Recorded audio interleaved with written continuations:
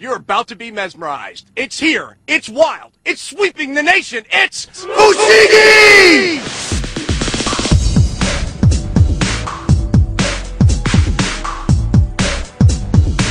Fushigi. Like, I don't know what it is, but it's the coolest thing ever, and I can do it.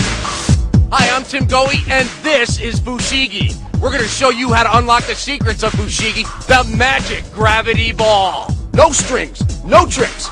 Magic? Maybe. An illusion? You decide.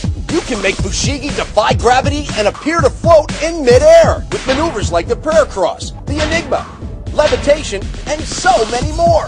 It floats, it levitates, it will confuse the senses with its mind-blowing movements. Young or old, big or small, anyone can Fushigi from the minute they pick up the magic gravity ball. And with a little practice, you can conquer Fushigi. This is so amazing. I think it's fabulous. I get it now. Everyone loves Fushigi, and you don't have to be a magician. It's relaxing, even therapeutic. Best of all, it's just amazing. It floats. It's awesome. Fushigi.